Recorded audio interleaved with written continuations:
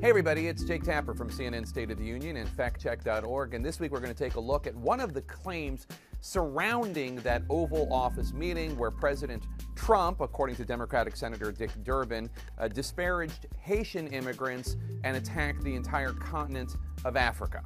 Specifically, we're going to look at the attempt by two Republican senators who were also at the meeting, Tom Cotton and David Perdue, to try to discredit Senator Durbin.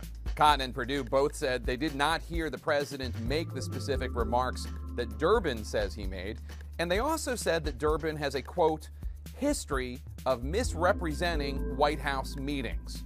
Take a listen. Senator Durbin has a history of misrepresenting what happens in White House meetings, though, so perhaps we shouldn't be surprised by that. I'm saying that this is a gross misrepresentation. It's not the first time Senator Durbin has done it.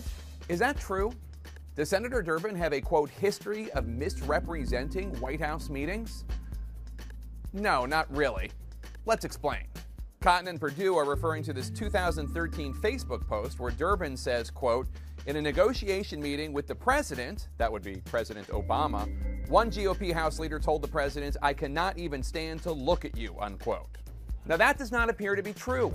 According to the Obama White House itself, no Republican leader said to President Obama, I cannot even stand to look at you. Listen to then Obama White House Press Secretary Jay Carney. I looked into this and, and spoke with somebody who was in that meeting, and it did not happen. But there's more to the story. Durbin was not actually at that 2013 meeting where Republican leaders met with President Obama. Durbin had been told that somebody in that meeting had said that to President Obama, told by White House staffers. When pressed about this, Durbin said at the time that the White House, quote, gave me a bad quote, and then they said it didn't occur.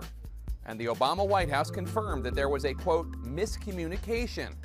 Here's Jay Carney again. There was a miscommunication when the White House read out that meeting to Senate Democrats, and we regret the misunderstanding. So while Durbin did share something that was not accurate, the misrepresentation does not appear to have been his fault. It appears to have been the fault of the Obama White House.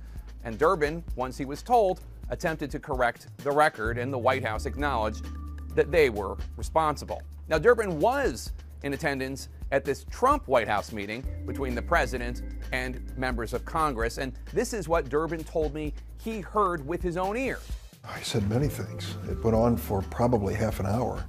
Uh, the most outrageous comment, uh, obviously, is in reference to countries overseas that might send immigrants to the United States, and the president used the vulgar term, which has been repeated over and over again. I mean, it was pretty clear to me what the president's message was in that meeting. So, whatever was said in this Trump White House meeting, it's not accurate to say that Durbin has a history of misrepresenting White House meetings. There was a miscommunication, but it wasn't Durbin's fault, and he did attempt to correct the record. A reminder to all you politicians out there you're perfectly entitled to your own opinions, but not to your own facts. I'm Jake Tapper for CNN State of the Union and factcheck.org.